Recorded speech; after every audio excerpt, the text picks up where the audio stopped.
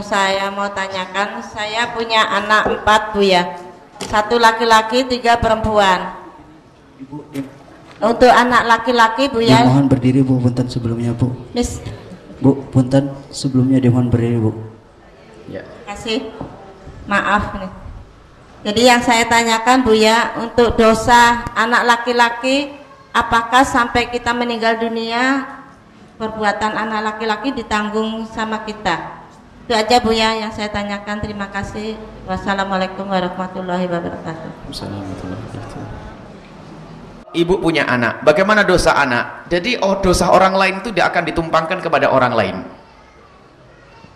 Dosa orang lain tidak akan ditumpangkan kepada Dosanya anak-anak ibu tidak akan ditumpangkan kepada ibu, enggak. Kecuali ibu salah didik, enggak pernah dikenalkan agama, enggak pernah dibawa ke majelis taklim, sekolahnya SMP, SMA, perguruan tinggi, enggak pernah sholat.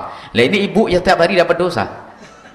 Tapi kalau ibu sudah didik dari awal dikenakan kepada Allah, kamu kuliah nak tapi ingat agama nak. Terus ibu mendidik, mendidik, mendidik benar, lah kok masih enggak benar, maka ibu tidak dosa. Tapi nggak pernah didik hati-hati. Biarpun anda ahli sujud umroh seminggu sekali, ada enggak umroh seminggu?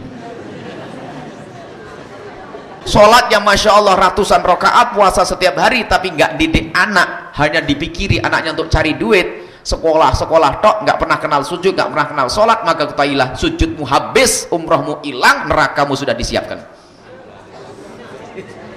Nah ini rugi Makanya tolong kalau anak mau jadi dokter, dokter yang ahli sujud, insinyur, insinyur ahli sujud ini. Jangan sampai kita terlena dengan ibadah kita. Pendidikan anak, anak, anak, anak, ada di mana anakmu? Nah, yang ditanyakan ibu, kalau ibu sudah mendidik putranya bu, dididik dengan benar, kalau anaknya masih melakukan dosa, enggak bu? Ibu kami sudah nyekolahkan kami bu, mondok, sekolah, belajar agama. Kok kami melakukan dosa bu? Ibu tidak kenal lagi bu karena sudah beres beliau mendidik berarti kaminya yang Bandung yang benar nggak benar. Karena sudah dididik dengan benar ini ini. Disekolahkan sampai diketemukan guru-guru. Dosa yang saya lakukan tidak. Tapi kalau ibu tidak mendidik dapat tabungan. Biarpun sujud rokok saya dosa bagi-bagi dong. Jadi semuanya harus nengok dirinya sendiri nggak usah nengok orang lain di mana anakmu dan bagaimana urusanmu dengan anakmu. Baik itu saja